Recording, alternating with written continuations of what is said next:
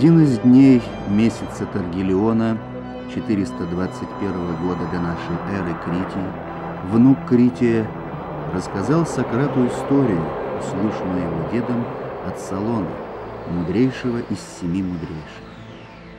Салон же, в свою очередь, узнал ее от жрецов Гелиополя и Саиса во время своих путешествий по Египту. До нас эта история дошла в изложении Платона. «Государство ваше, — говорили жрецы Салону, — положили предел дерзости несметных воинских сил, отправлявшихся на завоевание всей Европы и Азии, а путь державших от Атлантического моря.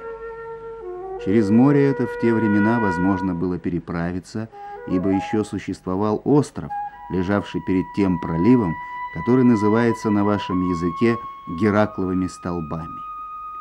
Этот остров превышал своими размерами Ливию и Азию вместе взятые, и с него тогдашним путешественникам легко было перебраться на другие острова, а с островов на весь противолежащий материк, который охватывал то море. На этом-то острове, именовавшемся Атлантидой, возник великий и достойный удивления союз царей, чья власть простиралась на весь остров, на многие другие острова и на часть материка. А сверх того, по эту сторону пролива, они овладели Ливией вплоть до Египта и Европой вплоть до Тирении.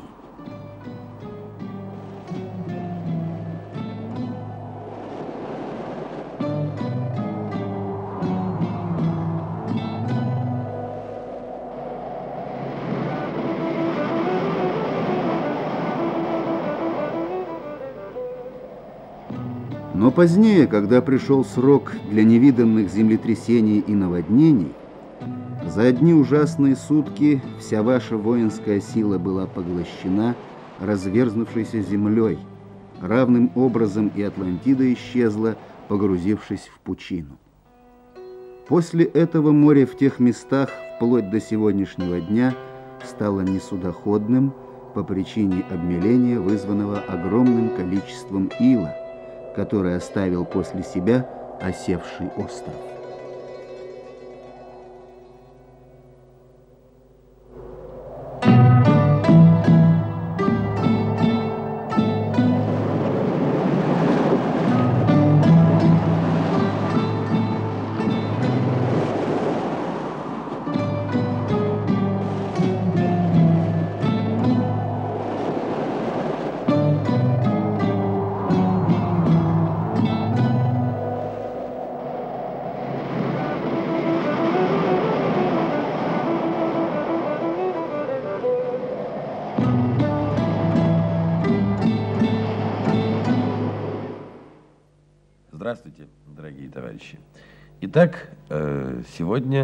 С вами говорим об Атлантиде.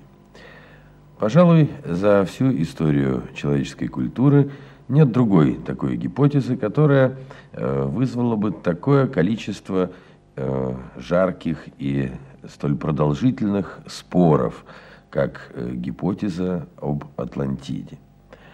В самом деле, Э, древнегреческий философ Платон, который жил в IV веке до нашей эры, написал диалоги Тимей и Критий, где он э, высказал э, мысль о том, что существовала Атлантида, остров э, с интересной очень цивилизацией, э, и затем все это погибло. И вот с тех пор э, всевозможные люди, ученые, философы – спорят на тему об Атлантиде. Существовала она или нет. В настоящее время насчитывается, ну, по меньшей мере, 25 тысяч всевозможных э, публикаций по поводу Атлантиды, так что можно сказать, что э, возникла даже такая небольшая отрасль науки атлантология. И тем не менее, вопрос этот совершенно далек от разрешения. И есть, была Атлантида или нет, Этот вопрос до сих пор не ясен. Неясно также и то, где располагалась Атлантида. В всяком случае, на земном шаре множество мест можно найти, куда всевозможные ученые э, Атлантиду помещали. Даже в Африке однажды ей нашлось место.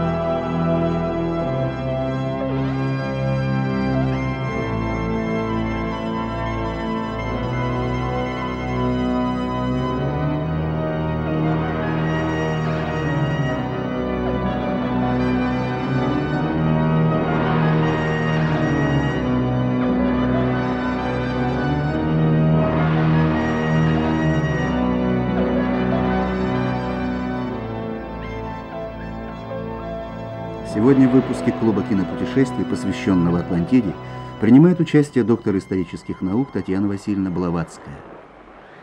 Поскольку Платон ее, как, э, назвал ее Атлантидой и локализовал в Атлантическом океане, э, то возможно, что какие-то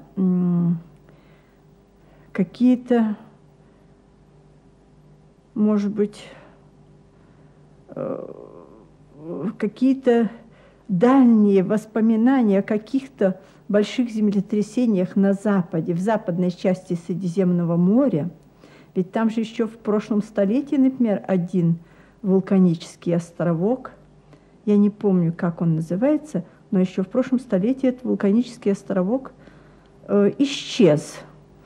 Так что возможно, что такого рода исчезновение островков – были известны и э, в, и в устной традиции они дошли и до Платона, и, может быть, он использовал это, но не больше. Сейчас все-таки очень много людей, которые ухватываются за какие-нибудь э, за какие-нибудь э, указания древних авторов и на этом строят свои гипотезы и стараются свои гипотезы представить как нечто весьма реальное, а ведь э, это очень часто оказывается э, домыслами, которые завоевали внимание, предположим, на несколько лет, там, на одно-два десятилетия, затем о них забывают, и все эти гипотезы уходят в небытие.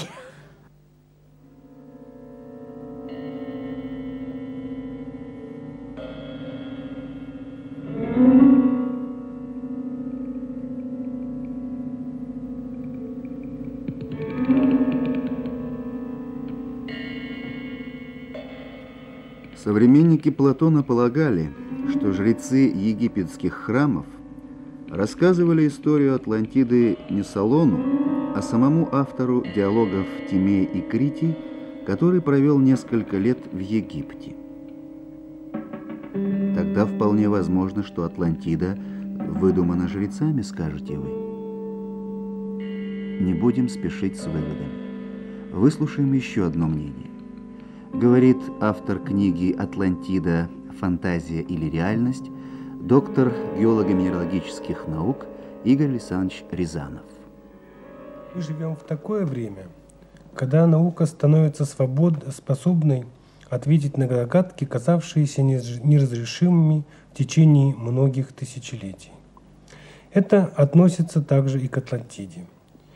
Если многие века об Атлантиде мы могли судить только на основании сказаний Платона, то в последние 50-100 лет появились новые данные, появились новые источники, которые позволяют нам теперь проверить, прав был Платон или же он был неправ. Какие же это источники? Их два. Во-первых, это археологические раскопки, проведенные во многих районах Средиземноморья и других э, областей Европы. А во-вторых, это данные геологии, собранные также сравнительно недавно, в основном уже в последние 20-30 лет.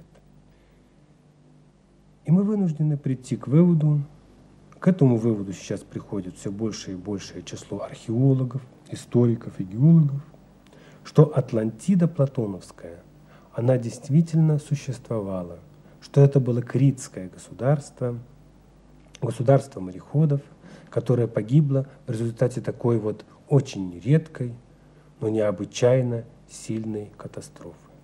Таким образом, мы можем сейчас сказать, что Атлантида найдена, и что самое интересное, она оказалась лучше, прекрасней, чем мы могли бы думать, слушая, читая только диалоги Платона. Это была замечательная страна, которая по существу была колыбелью всей европейской культуры. Именно там заложился тот стиль, который впоследствии развился в классических э, произведениях скульптурных и архитектурных в Греции. Именно там впервые появилось слоговое письмо. Именно там были созданы прекрасные корабли, весельные, парусные, которые ходили по всему Средиземноморью. Именно там, вероятно, заложились основы литературы, основы тех мифов, впоследствии уже записанных Гомером.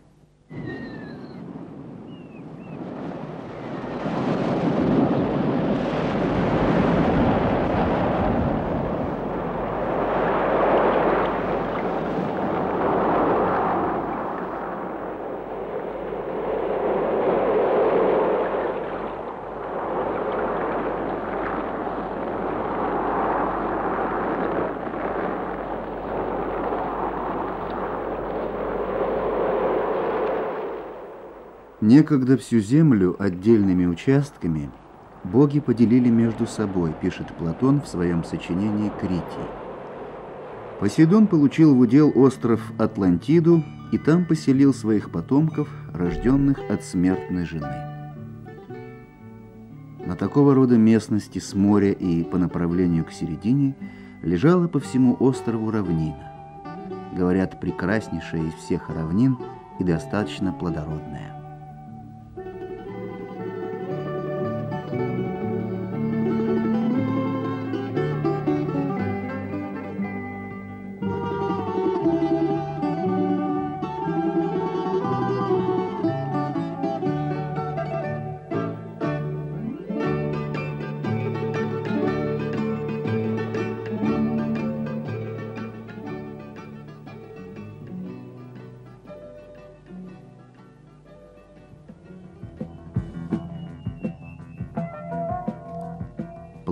Подробно описывает остров и жизнь на нем.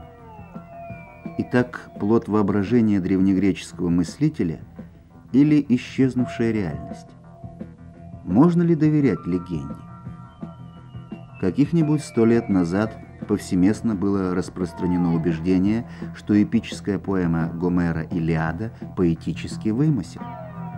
Но сегодня Троя, Микены, Теринф – реальность такая же реальность, как и храм Афины или алтарь Зевса.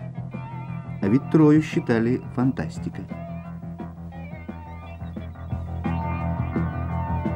Спор о реальности Атлантиды начался еще при современниках Платона.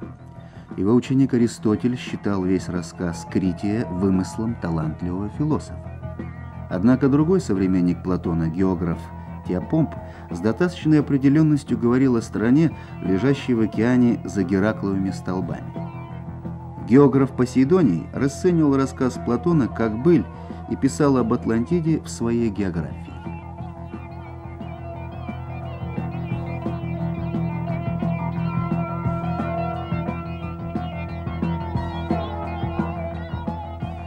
Это Гибралтарский пролив. Над проливом один из Геракловых столбов. У его подножья город, носящий одно имя с проливом. Когда-то еще во времена римского владычества, где-то в этих местах видный политический деятель того времени Серторий встретил мореплавателей, возвращавшихся с неких островов, лежащих в Атлантическом океане. Мореплаватели называли их островами блаженных, так как жизнь там, по их словам, была сплошным праздником. Жители не знали ни забот, ни рабства. Сертори решил переселиться на чудесные острова, лежащие как раз там, где, по другим преданиям, некогда находилась Атлантида. В силу обстоятельств ему, однако, так и не удалось отправиться в плавание.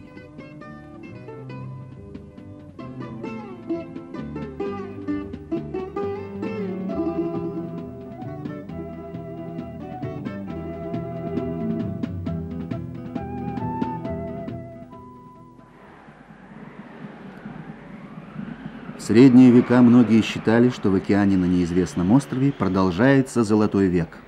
Искать этот остров отправилось немало отважных мореплавателей. Морякам одного из кораблей посчастливилось увидеть вдали остров, который, однако, при приближении словно растворился в тумане. Скорее всего, это был мираж, отражение одного из Канарских островов. Но поиски продолжались. Так, например, в XVI веке англичане трижды снаряжали экспедиции, желая найти остатки Платоновской Атлантиды. В середине XVII века появились первые попытки разгадать загадку исчезнувшей страны научным путем. Ученый-энциклопедист из Германии Кирхер поместил Атлантиду между европейским и американскими континентами. Ее местонахождение, писал он, должно обозначаться Канарскими, Азорскими или Фландскими островами, которые и являются как бы выдающимися вершинами гор затопленной страны. В XVIII-XIX веках пробовали отыскать Атлантиду с помощью самых последних научных достижений. В XX веке следы атлантов искали на португальском побережье и на острове Крит. Их следы искали и на африканском континенте. Изучая древние культуры народов Западной Африки, немецкий ученый Фрабениус заметил, что в них много общего с культурами Средиземноморья. Он считал, что на эти культуры оказало общее влияние цивилизация атлантов. По его мнению, жители западного Судана Йорубы были прямыми потомками атлантов. Искали атлантов в Латинской Америке, на севере Африки и даже на Кавказе трудах ученых разных стран предполагаемое местонахождение затонувшего острова перемещалось из одного конца земного шара в другой. Атлантида продолжала будоражить умы человечества.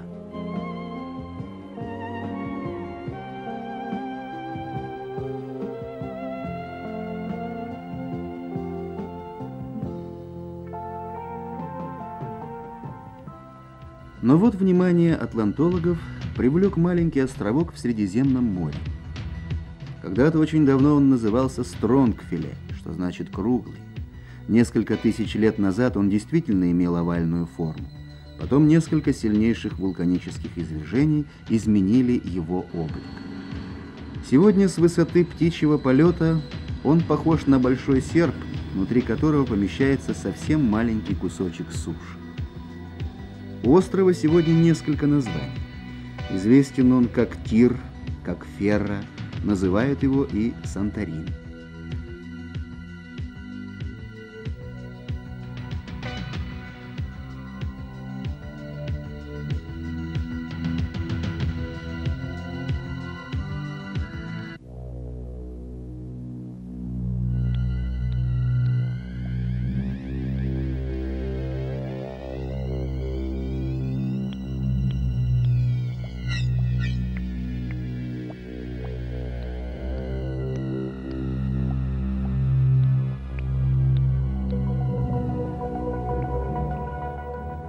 Течение двух последних столетий на острове вырос новый вулкан – Нея Камиени.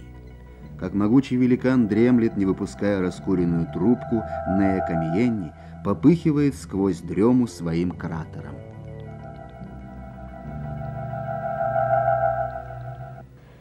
Оказывается, что 35 веков тому назад в Восточном Средиземноморье произошло грандиозное по своей силе вулканическое извержение. Произошла катастрофа, которая по своей силе, по своей мощи практически не имела себе равных в более поздние времена. Некоторое представление об этой вулканической катастрофе мы можем получить, сравнивая ее с извержением вулкана Кракатау в Индонезии. Там был разрушен большой остров, э, огромные волны топили корабли. Звук от этого взрыва вулкана Кракатау был слышен по всему обрамлению Индийского океана, а воздушная волна несколько раз обогнула земной шар. Так вот, геологические данные показывают, что извержение вулкана Санторин, происшедшее 35 э, столетий тому назад, по силе по своей было по меньшей мере в 10 раз больше, чем взрыв вулкана Кракатау. Об этом извержении ничего не знали греки, об этом извержении не было известно в средние века. О нем удалось установить лишь сравнительно недавно, проводя специальные геологические и океанологические исследования в пределах Средиземноморья.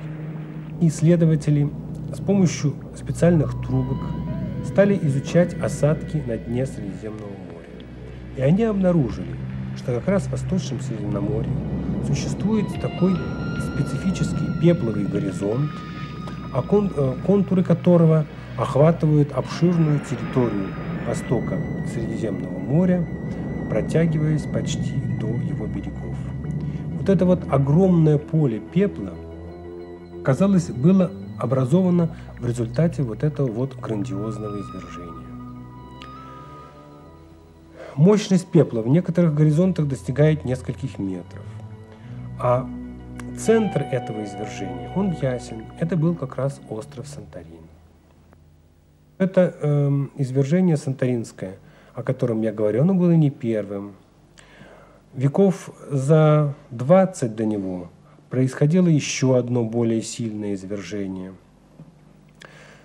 Ну вот между этими извержениями существовал период относительного тектонического покоя, в течение которого на этом острове и поселились люди. Они создали там город. Причем центральную часть этого города мы не знаем. Она полностью оказалась уничтоженной в результате вулканического взрыва.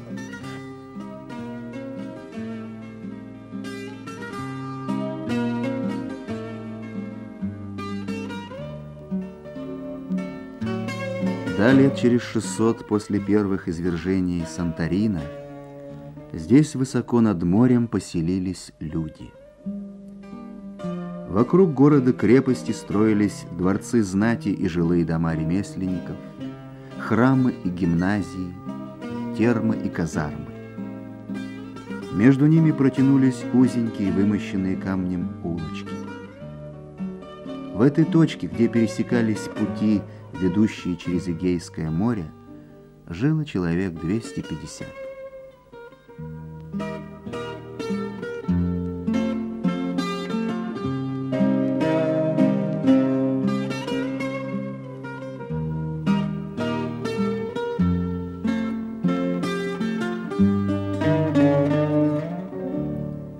Сцене жили герои Софокла или Исхила или Еврипида – или на Санторини были свои драматурги.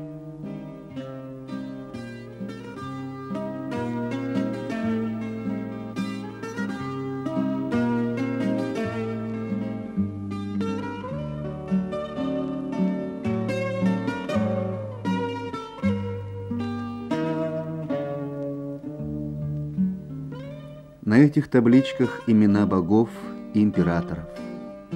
Каждая находка – рассказ о замечательной культуре, существовавшей на Санторини, пока огненный смерч вулкана не смел все живое со своих склонов. Данные археологии и данные геологии удивительно совпадают. Они совпадают в первую очередь в отношении времени этого события. Мы можем сейчас судить о нем с точностью примерно до плюс-минус 10-15 лет. Данные радиоуглеродного метода позволяют нам точно установить время этого события. И оно совпадает как раз с периодом упадка критской культуры.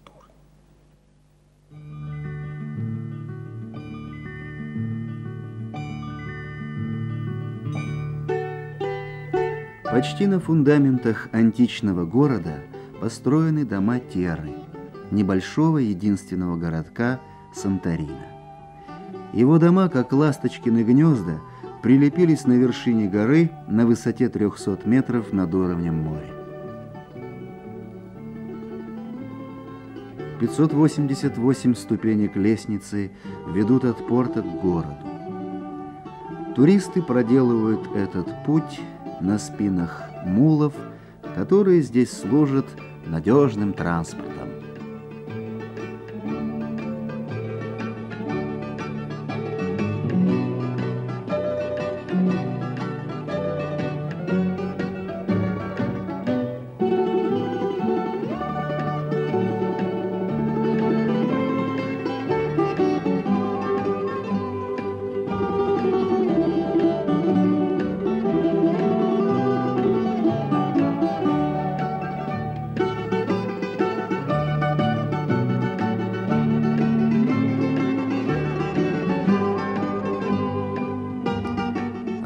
Теры говорят, что африканские и ближневосточные образы перемешаны здесь с обликами среднеземноморских городов.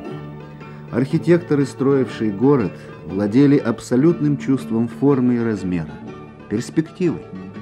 Формы повторяют друг друга и одновременно разнятся. Долгое время археологическими работами на Ферри руководил профессор Афинского университета Спиридон Маринатос.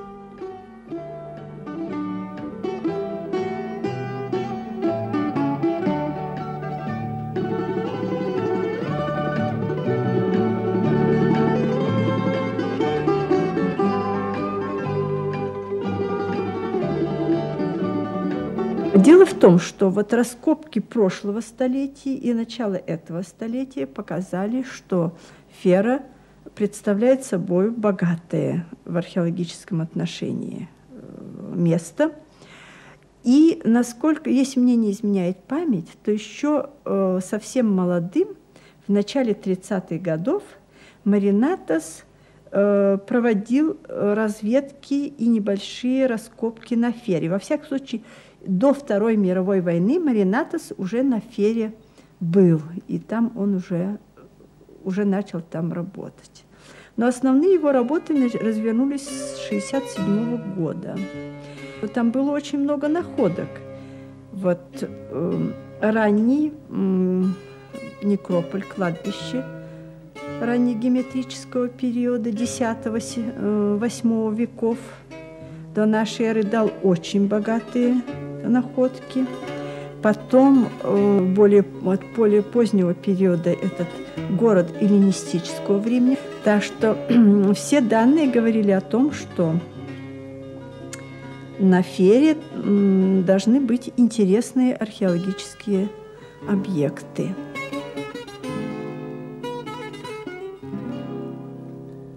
Каждый час раскопок приносил что-то новое вновь оживает и говорит то, что три с половиной тысячи лет назад, казалось бы, навечно погребено под каменным покрывалом вулкана. Шарнир от каменных ворот, ступени обрушившейся лестницы, каменный пол с остатками колонн.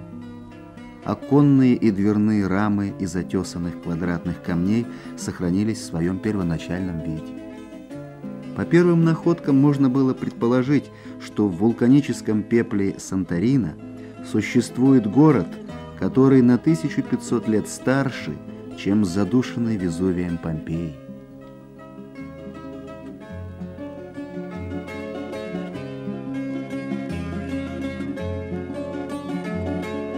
В 1953 году произошло крупнейшее событие в, э, в науке о древнейшей истории Греции. э, английские ученые Майкл Вентрис и помогавший ему э, Чедвик расшифровали один из видов письменности, ранний э, вид письменности, который был, э, применялся в Греции, материковой, и на островах, и на Крите. Это слоговое письмо «Б». Оно употреблялось, начиная так, с конца 15 века до нашей эры, до 1200 года до нашей эры. Его э, старались расшифровывать много десятилетий. И, наконец, Вентрису и Чедвику удалось в 1953 году прочесть эти документы. Этих документов известно несколько тысяч. Они прочли и комментировали свыше 300 табличек – Э, и доказали, что это письменность, служившая греческому языку, письменность, которая служила, э, э, которая передавала один из самых ранних греческих диалектов. Это открытие было потрясающим, потому что оно сразу решило вопрос о том, что греки были в Греции уже во втором тысячелетии до нашей эры.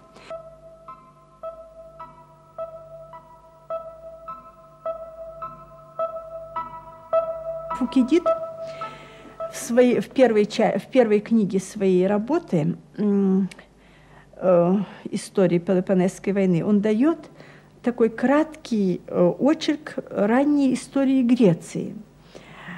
И э, Фукидид, рассказывая о периоде главенства Крита, говоря о том, что Крит владычествовал над морем, он употребляет термин – который был у греков талассократия, э, Фукидид указывает, что царь Кносса, правитель Кносса, Минос, направил на многие острова Эгейского моря своих сыновей, которые управляли этими э, островами. И Фера как раз была одним из таких подвластных Кносу островов – Нужно сказать, что вот то, что мы видим в этом кинофильме, это только начало этих раскопок, только начало. Последующие раскопки принесли э, потрясающее открытие э, вот этого вот ферского городища, э, которое погибло около 1500 года до нашей эры в результате извержения вулкана.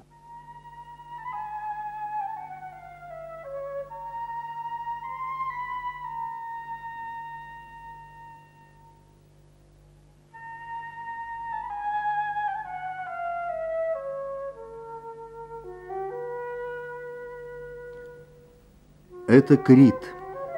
Он находится на 120 километров южнее Санторина.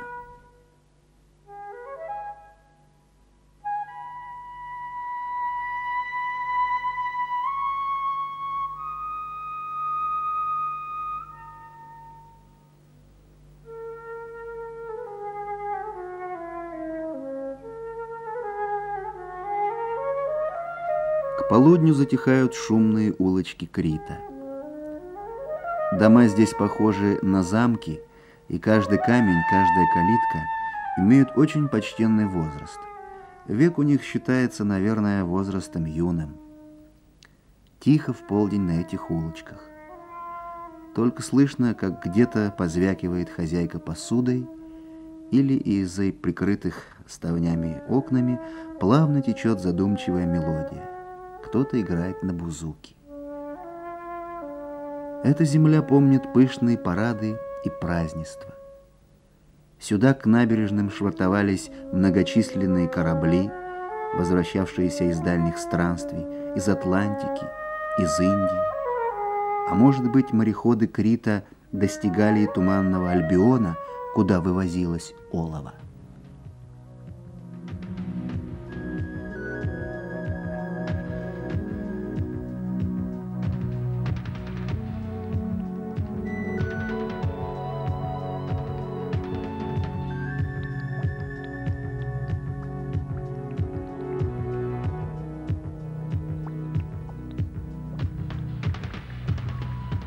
Крит был центром царства Миноса. И в местечке Кноссос 70 лет назад был открыт дворец царя, поражающий архитекторов совершенством, мощью и изяществом построек. Во дворце находились не только жилые помещения царской семьи и комнаты стражи. Были здесь помещения для культовых обрядов, фактории, комнаты, в которых работали ремесленники. Одновременно дворец был и местом, где бойко шла торговля. Землетрясения не раз разрушали дворец, но его отстраивали заново, и он становился еще величественнее и прекраснее. Извержение Санторина положило конец критскому государству. Резиденция царей Крита утратила свое могущество и погибла. Говорят, что многие мифы Древней Греции становятся понятнее, если известны подробности санторинского извержения. Вот, например, миф о войне Зевса с титанами. Вырос и возмужал Зевс – он восстал против своего отца, Корона, и заставил вернуть на свет проглоченных им детей. Одного за другим изверг из уст крон своих детей богов. И начали они борьбу с Кроном и Титанами за власть над миром. Ужасно и упорна была эта борьба. Дети Крона утвердились на высоком Олимпе. Опасна была эта борьба для богов-олимпийцев. Но Зевсу на помощь пришли циклопы. Они выковали ему громы и молнии, и их метал Зевс в титанов. Борьба длилась десять лет, но победа не склонялась ни на ту, ни на другую сторону. Наконец решился Зевс освободить из недр земли старуких великанов, гекатонхейров, и призвать их на помощь. Ужасные громадные вышли они из недр земли и ринулись в бой.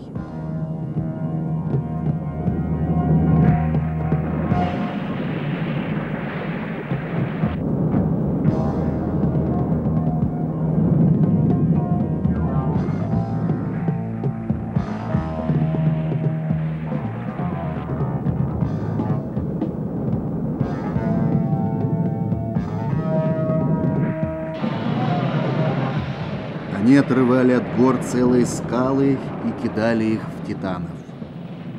Сотнями летели скалы навстречу титанам, когда подступали они к Олимпу. Стонала земля, грохот наполнил воздух, все кругом колебалось. Даже Тартар содрогался от этой борьбы. Зевс метал одну за другой свои пламенные молнии и оглушительно ракочущие громы.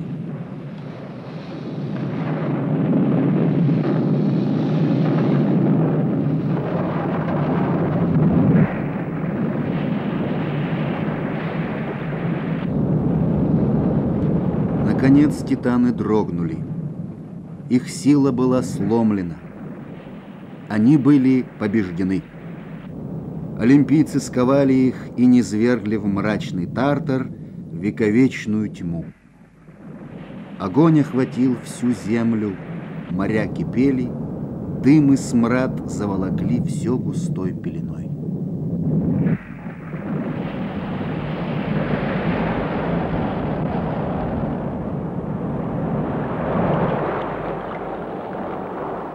Вулкан Санторин, производя свой, произведя свой чудовищный взрыв, он вызвал несколько страшных явлений.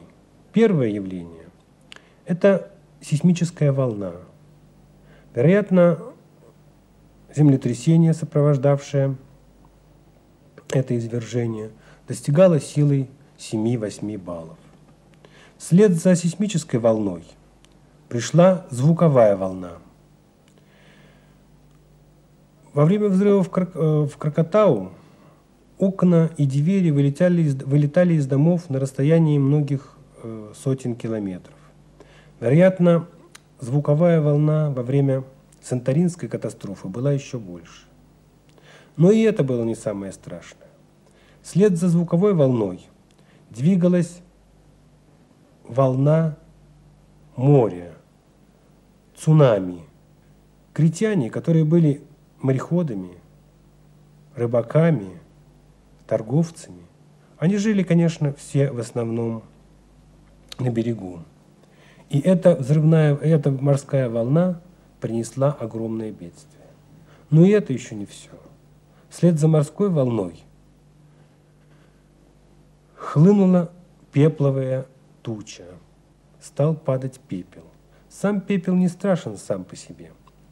Но почва, засыпанная пеплом, уже больше не плодородит. И поэтому на островах Эгейского моря после извержения те люди, которые остались живы, которые не были э, уничтожены вот этой вот цунами, морской волной, они вынуждены были умереть голодной смертью или же срочно покинуть этот остров. И они ушли, они бежали, уехали. Куда? Как говорит Платон, с Грецией тогда у них была война. Поэтому, скорее всего, они двинулись на восток, на Кипр. И действительно, вскоре после Санторинской катастрофы на Кипре мы видим расцвет культуры. Вероятно, многие критяне внесли в это свой вклад. Вероятно, часть критян уехала и в Египет. Мы знаем сейчас, что знаменитая царица Нефертити – была, вероятно, маленькой девочкой, когда произошла эта гигантская катастрофа.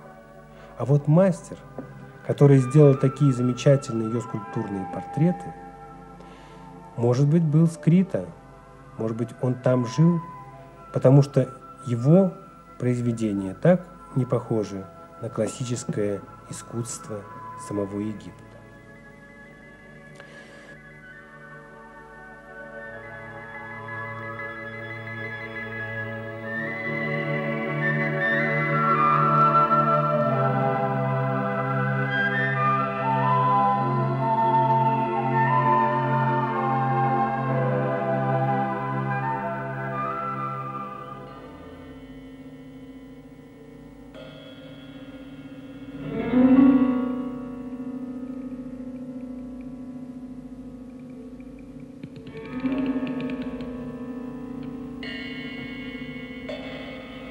Как и в Помпеях, вулканический пепел и пемза наилучшим образом помогли сохраниться этим находкам.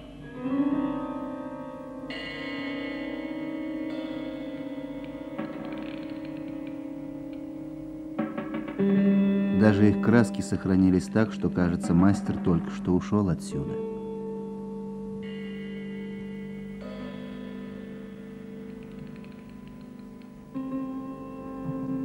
Несмотря на жар, который уничтожил все деревянные предметы и даже расплавил некоторые каменные брусы, многие керамические сосуды остались почти неповрежденными. Катастрофа всюду оставила свои следы. Обрушившиеся стены, оплавленные куски камня.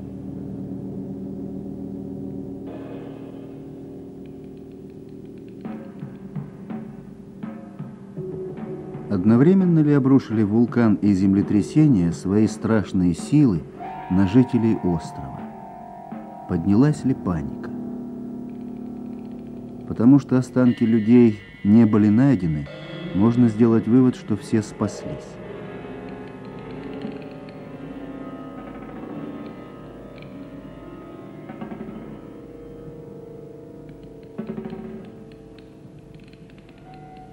Запасники музея Теры переполнены предметами культа и домашнего обихода, которые удалось обнаружить в раскопках.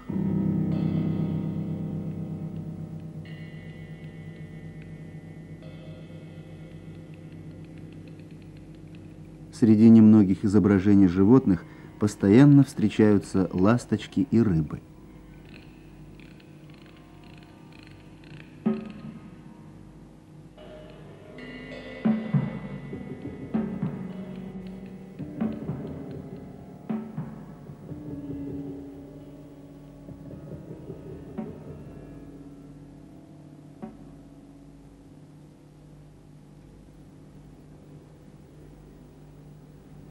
бесконечной вариации спиральных орнаментов.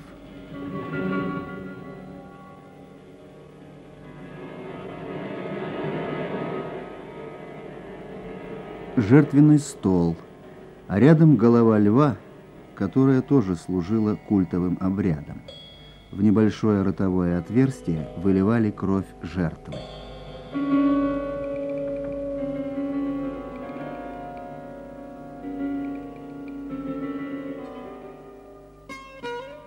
Раскопки 70-х годов раскрыли несколько зданий. Причем здания имели по 2-3 этажа и, очевидно, принадлежали знатным гражданам. Хозяином одного из домов, скорее всего, был человек, занимавший высокий пост во флоте. Это так называемый «дом адмирала». Он интересен фресками, украшающими стены помещений. Фрески эти изображают всевозможные сцены из морских похождений.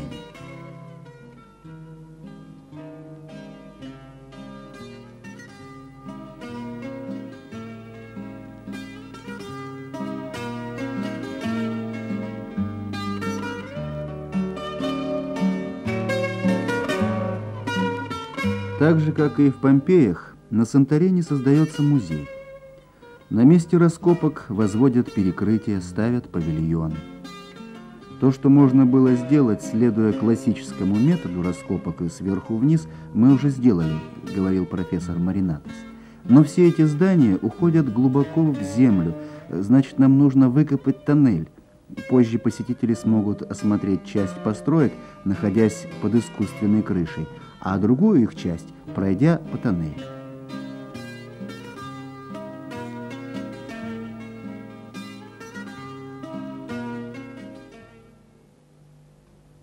Года два назад случилось непредвиденное. Плохо укрепленный край раскопа рухнул. Под завалом погиб Спиридон Маринатос и один из его сотрудников.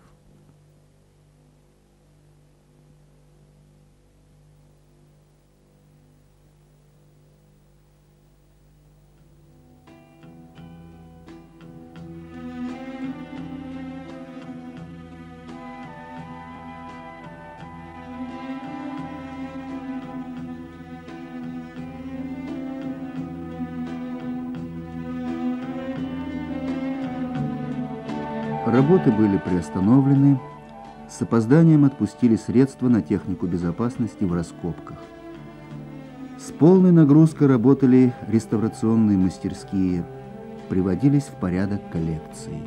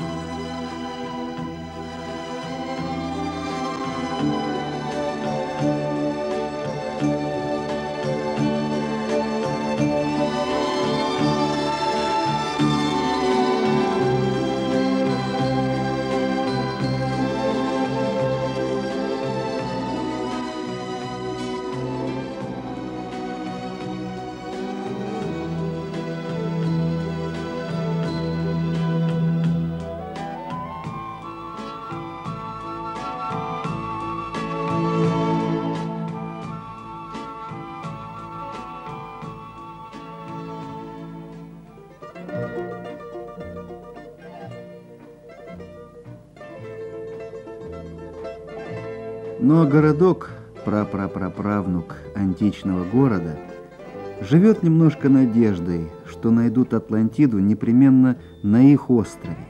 И тогда на волне туристского бума все наконец-то разбогатеют.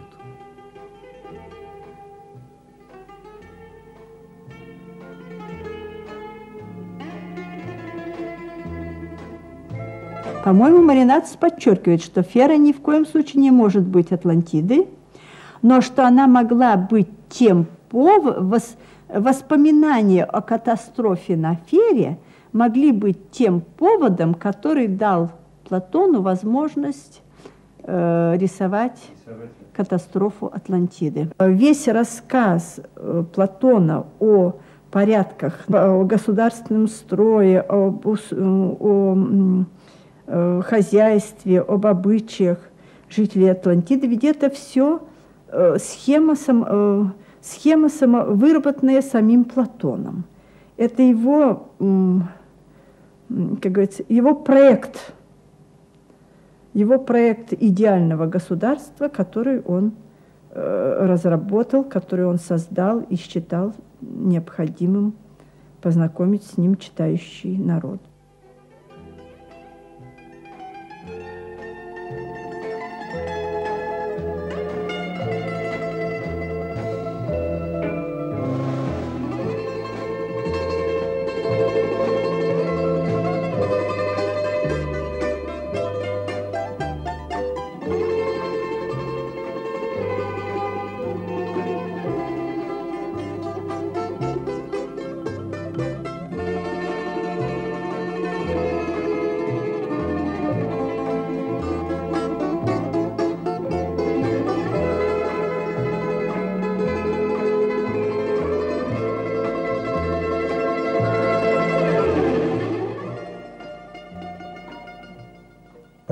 Века.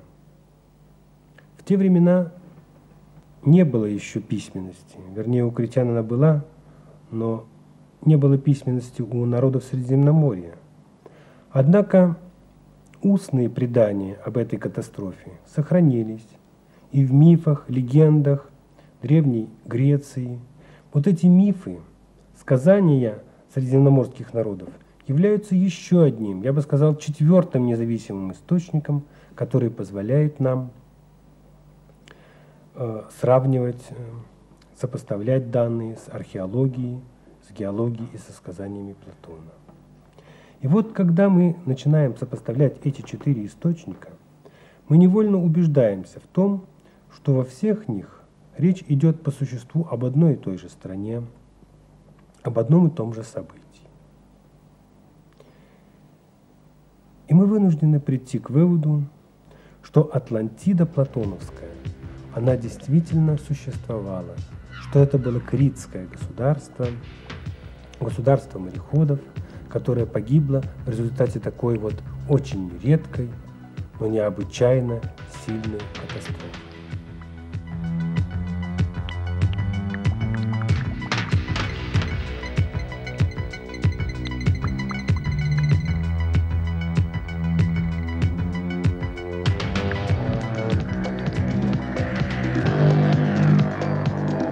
Весной минувшего года крупнейшие информационные агентства распространили сенсацию. Советские ученые получили фотографии, которые, возможно, подтвердят существование между Португалией и островом Мадейра легендарного исчезнувшего континента Атлантиды.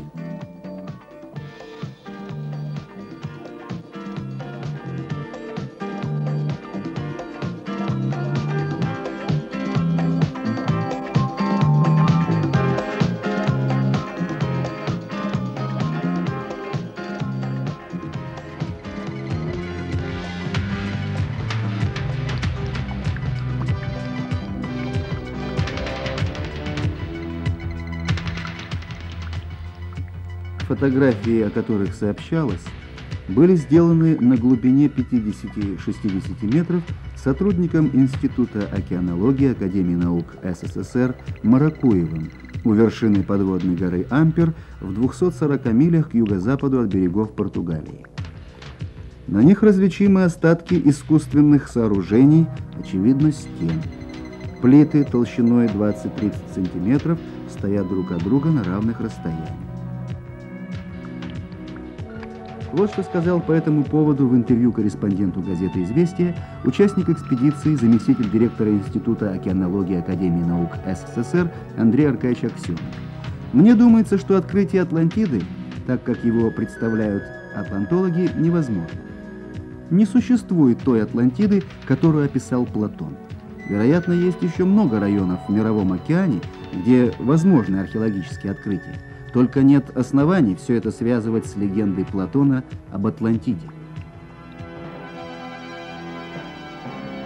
В продолжении многих поколений правители Атлантиды повиновались законам и жили в дружбе.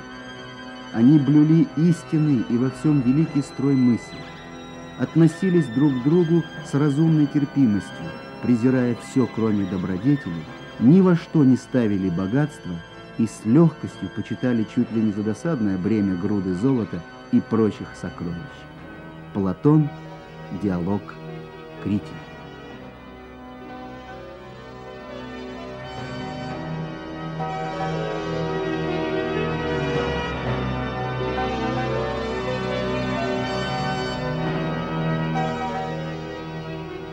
У меня даже возникла мысль, что не посмеялся ли над нами, над всеми Платон. Может быть, он это все просто придумал, а с тех пор человечество бьется. В всяком случае, как вы только что увидели, э, сколько людей, столько и существует всевозможных мнений. И э, мнения и новые гипотезы возникают. Вот передо мной э, журнал «Молодая гвардия» за 70 девятый год, номер восьмой. И здесь есть очень интересная статья, которая так и называется «Атлантида. Новые гипотезы». И вот э, вы можете это прочесть. Я лишь только скажу о том, что известный австрийский физик Отто Мук э, выдвигает новую гипотезу о э, существовании Атлантиды. Э, до сих пор считалось, что нет э, живых свидетелей существования Атлантиды. А вот Отто Мук этих живых свидетелей нашел. И э, ими оказались рыбы, угри. Но вы знаете о том, что угорь очень интересная рыба, и что существуют, э, происходят миграции. Мальки угрей идут от Саргасового моря в сторону Европы или Америки, проводят там достаточно много лет, 4-5 лет, а потом уже взрослые особи вновь упорно возвращаются к Саргасову морю. Так вот, Отто Мук считает, что некогда там, в тех местах, находилась Атлантида, находился остров, небольшой материк, и именно поэтому э, инстинкт э, зовет угрей вот э, к этому месту. Но я не буду излагать э, тонкости и подробности этой гипотезы, вы сможете сами э, об этом почитать, вот э, я повторяю, в журнале «Молодая гвардия». Я думаю, что, наверное, и у вас, дорогие э, товарищи, есть ваши мысли по поводу Атлантиды, может быть, есть какие-то э, новые гипотезы и факты, которые мы не сумели охватить в нашей сегодняшней передаче. Так что мы ждем э, ваших писем и ваших мнений на этот счет. Но я думаю, что к разговору об Атлантиде мы еще вернемся и не раз. На этом наша сегодняшняя программа закончена. Мы желаем вам всего доброго, до свидания, до следующих встреч.